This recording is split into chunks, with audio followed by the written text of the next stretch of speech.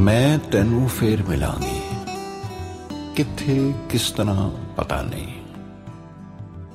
ਸ਼ਾਇਦ ਤੇਰੇ ਤਖਯਲ ਦੀ ਚਿਣਕ ਬਣ ਕੇ ਤੇਰੇ ਕੈਨਵਸ ਤੇ ਉਤਰਾਂਗੀ।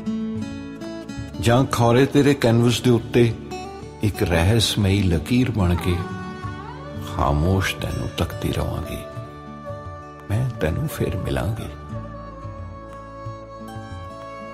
ਜਾਂ ਖੌਰੇ ਸੂਰਜ ਦੀ ਲौ ਬਣ ਕੇ ਤੇਰੇ ਰੰਗਾਂ ਵਿੱਚ ਕੁਲਾਂਗੀ ਜਾਂ ਰੰਗਾਂ ਦੀਆਂ ਬਾਹਾਂ ਵਿੱਚ ਬੈਠ ਕੇ ਤੇਰੇ ਕੈਨਵਸ ਨੂੰ ਵਲਾਂਗੀ। ਪਤਾ ਨਹੀਂ ਕਿਸ ਤਰ੍ਹਾਂ, ਕਿੱਥੇ, ਪਰ ਤੈਨੂੰ ਜ਼ਰੂਰ ਮਿਲਾਂਗੀ। ਜਾਂ ਖੌਰੇ ਇੱਕ ਚਸ਼ਮਾ ਬਣੀ ਹੋਵਾਂਗੀ, ਤੇ ਜਿਵੇਂ ਝਰਨਿਆਂ ਦਾ ਪਾਣੀ ਉੱਡਦਾ, ਮੈਂ ਪਾਣੀ ਦੀਆਂ ਬੂੰਦਾਂ ਤੇਰੇ ਪਿੰਡੇ ਤੇ ਮਲਾਂਗੀ ਤੇ ਇੱਕ ਠੰਡਕ ਜਿਹੀ ਬਣ ਕੇ ਤੇਰੀ ਛਾਤੀ ਦੇ ਨਾਲ ਲਗਾਂਗੀ। ਮੈਂ ਹੋਰ ਕੁਝ ਨਹੀਂ ਜਾਣਦੀ, ਪਰ ਐਨਾ ਜਾਣਦੀ ਆ ਕਿ ਵਕਤ ਜੋ ਵੀ ਕਰੇਗਾ, ਇਹ ਜਨਮ ਮੇਰੇ ਨਾਲ ਤੁਰੇਗਾ।